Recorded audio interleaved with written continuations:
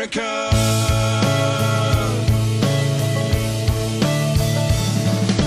loves his wife, she's that wife that decorates on the